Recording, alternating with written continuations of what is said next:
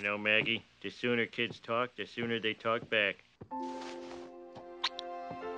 I hope you never say a word.